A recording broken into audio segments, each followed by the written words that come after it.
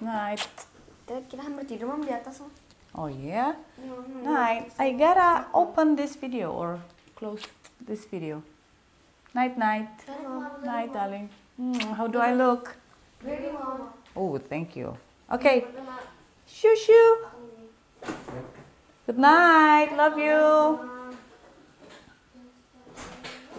Okay, go go go go go go. Hai, assalamualaikum. Selamat datang di YouTube channel gue Yona Kairupan.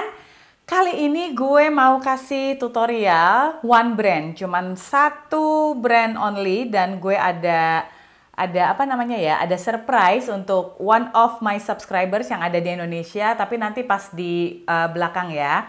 Nah, sebelum kita mulai, subscribe dulu ya ke YouTube channel gue ini dan follow Instagram gue karena biasa di Instagram gue tuh gue suka kasih kayak apa ya namanya ya? Uh, sedikit-sedikit info misal ada makeup makeup baru atau misalnya uh, apa bocoran-bocoran apalah gitu. Brand yang akan gue gunakan kali ini adalah QL Cosmetics yang banyak uh, produknya itu menurut gue itu bagus ya. Bagusnya kayak apa? Nah ini akan kita coba satu persatu.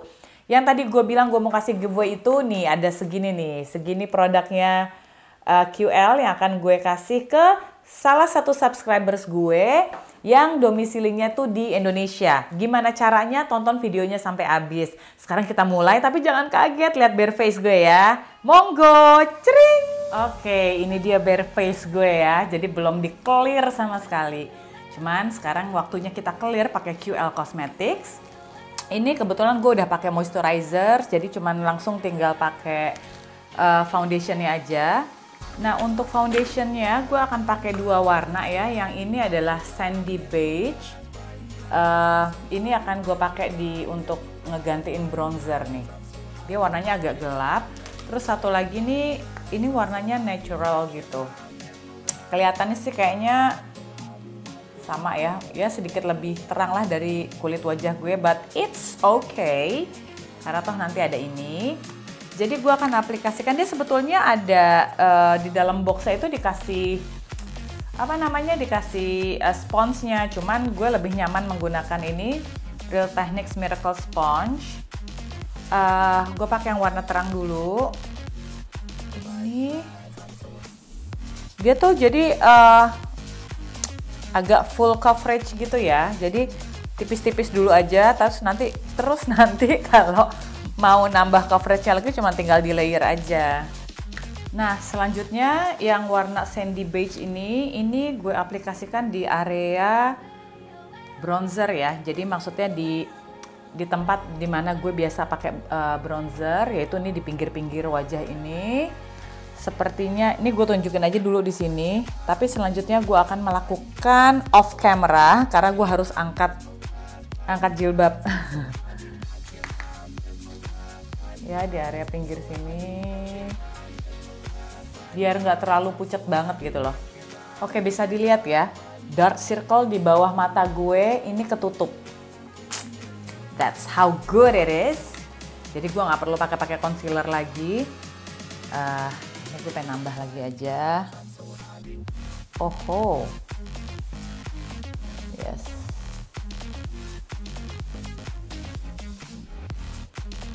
Nah berhubung yang gue punya ini nggak terlalu lengkap banget, jadi gue uh, kayaknya mau yang makeup makeup romantis gitu kali ya. Jadi nggak perlu perlu contouring segala. Selanjutnya gue akan langsung set aja menggunakan uh, QL Whitening Two Way Cake. Gue suka deh ini warna birunya. Birunya tuh biru mahal ya. Gue mau langsung set menggunakan powder brush. Lo kok langsung? Iya, Pengen aja, lagi pengen langsung. Selanjutnya alis, ini ada produknya QL Cosmetic yang emang super banget ya. Ini banyak banget di uh, review oleh para beauty blogger. Ini adalah eyebrow cream, eyebrow creamnya dari uh, QL. Ini di ujung sebelah sini, ini adalah krimnya. Tuh agak berantakan ya karena ini udah pernah gue pakai. Terus yang di ujung satu laginya tuh adalah kuasnya. Ini sudah gue tes dia itu tidak waterproof. Jadi dia dicuci pakai air itu uh, hilang. Cuman memang ketahanannya tuh tinggi ya. Jadi good newsnya adalah bisa kita gunakan untuk yang muslimah ya ini bisa digunakan sehari-hari. Jadi wudhunya masih tetap sah. Terus udah gitu uh, tapi dia nggak gampang bleber nggak gampang hilang gitu loh. Jadi memang ketahanannya tuh tinggi. So you can use it every day ladies. Nah ini warnanya itu adalah yang dark brown. Seperti biasa ya di frame dulu bawahnya.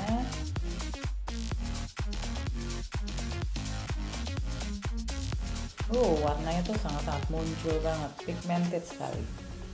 Ya iyalah ya lawang creamy kok yo lalu gue frame bagian atas. Oke terus tinggal gue isi dalamnya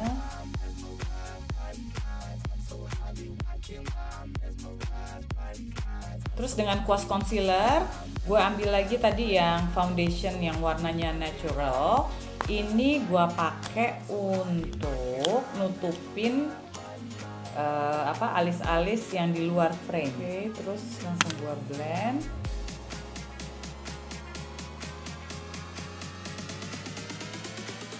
Nah, sekarang untuk menggantikan uh, apa eye primer atau eyeshadow base, gua ambil lagi ini karena dia formulanya uh, tebal banget, jadi bisa dijadiin buat base-nya eyeshadow.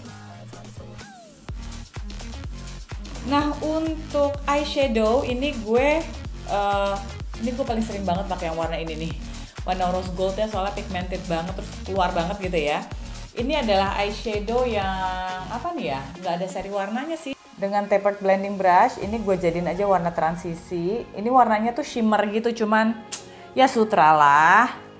Gue nggak mau terlalu terjebak di aturan-aturan baku kalau untuk mata hooded itu warna transitionnya atau eyeshadownya sebaiknya pakai yang matte gitu ya. Nanti gue nggak bisa main-main dengan warna-warna eyeshadow dong. Jadi ini sebagai warna transitionnya di atas kelopak mata nah supaya nggak kelamaan gue kerjain sebelah mata dulu aja ya baru nanti I'll get back to you. Satu mata sudah selesai, sekarang kita akan ngerjain bareng-bareng uh, mata yang sebelah kanan ya. Gue akan kasih tahu step by stepnya. Um, menggunakan ini ya. Ini nggak ada nama nggak ada nama paletnya, tapi pilih yang ada warna uh, keungu-unguannya ya. Ini ada shade ungu. Tadi untuk warna transisi kita sudah aplikasikan warna yang di tengah sini. Nah sekarang untuk yang di lipatan matanya kan berarti mat, ya warnanya lebih gelap lagi ya. Gue akan menggunakan warna yang ungu tua ini. Ini di lipatan mata.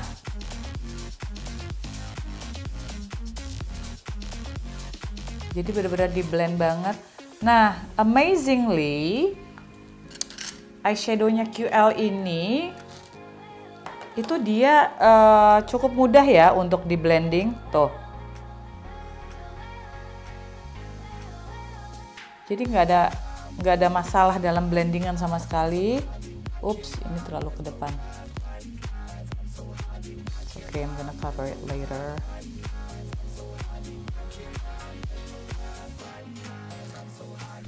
Terus jangan uh, apa gue tutup juga di sini di kelopaknya Tuh, gampang banget di blendingnya. Hmm, keren deh. Terus, menggunakan pencil brush, ini blending brush, sebetulnya ini blending brush ya, tapi ini skinny banget, kecil banget. Gue akan ambil warna hitam ini. Terus, nah ini dibaurkannya tuh ngikutin nih lengkungan mata bu yang bulat ini nih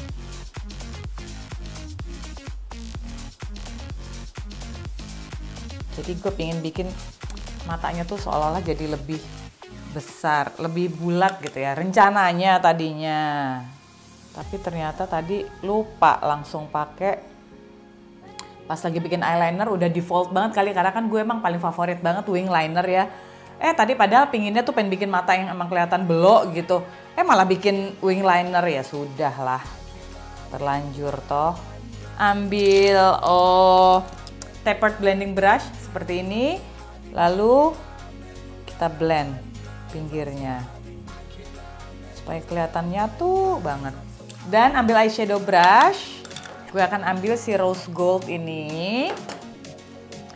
Terus diaplikasikan di kelopak mata. Dari pangkal sini sampai uh, apa dia membaur sampai si warna ungu tua tadi. Uh, warnanya pigmented, terus udah gitu mudah untuk di mudah berbaur dia, gampang mingle ya. Sosialisasinya asik sepertinya.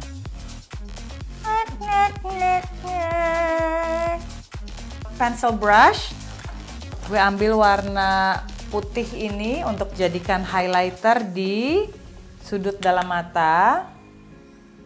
Look at this. Tapered blending brush ini gue ambil warna ambil warna transisi ini diaplikasikan di mata bagian bawah nyambung sama eyeshadow yang di atas. Ambil si skinny skinny blending brush ambil warna cok uh, apa ungu tua tadi terus ini diaplikasikan dari ujung luar mata masuk ke dalam sampai tengah-tengah bola mata. Oh no no no. Sampai batas dalam bola mata. Terus gue ambil yang warna hitam.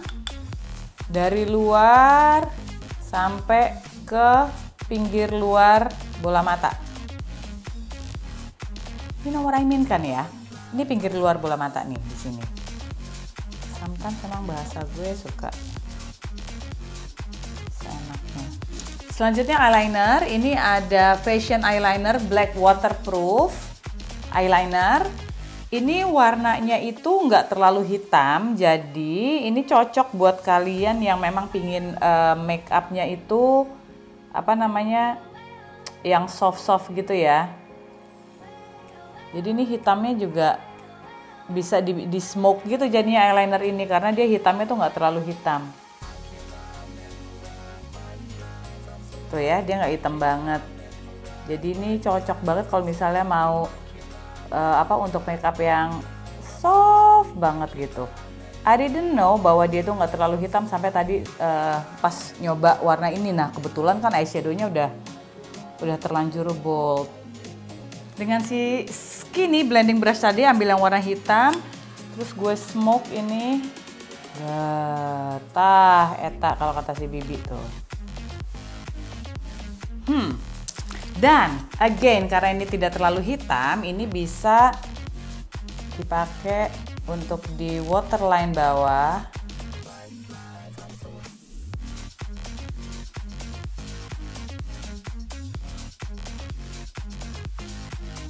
There you go. Dan sekarang waktunya maskara. Ini ada maskara waterproof and curling uh, maskara.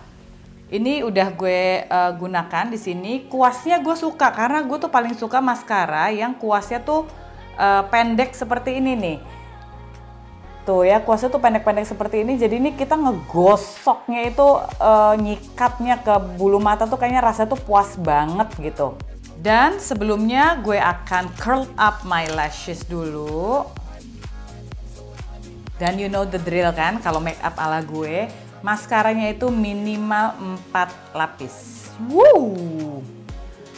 Jadi gue aplikasikan si maskara ini sebanyak 4 lapis. Tapi setelah dua lapis gue diamin dulu, baru gue apply lagi dua lapis lagi. Oke, dua mata maskaranya udah 4 lapis, jadi udah lumayan ngebling-bling lah ya. Nah terus uh, yang warna putih ini dengan pencil brush gue akan jadiin highlighter untuk di hidung.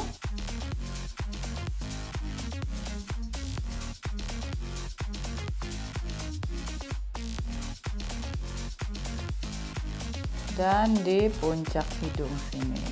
Terus uh, tanggung ya pakai uh, setting brush, ambil yang warna putih tadi, terus akan gue jadikan um, highlighter di sini.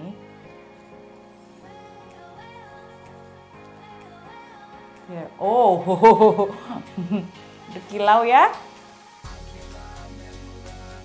Untuk blusher ini kebetulan gue senang banget ada dua warna ini ya. Ini bright pink sama uh, apa sih warnanya yang peach gitu. Ini orange tone. Nah berhubung berhubung ini warnanya udah cool tone. Ya gue sekalian aja lah ya senada gue pakein pink tapi sangat soft banget. Hmm. Soft banget tapi terlalu bright. Oh oh. pakai powder foundation kita tone down sedikit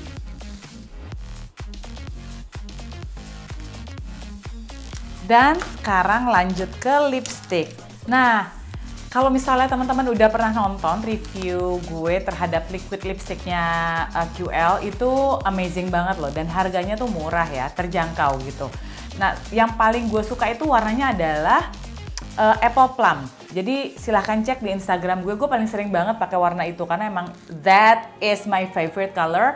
Tapi untuk di look ini gue mau bikin, mau gue mau tampilin pinknya tuh yang mm, soft tapi bright. Nah gimana tuh ya? Pokoknya kayak begini nih. Ini adalah nomor 22 yang warnanya itu uh, apa ini ya? Pokoknya ini warnanya Pokoknya ini nomor 22 aja nggak kebaca warnanya apaan. Tuh.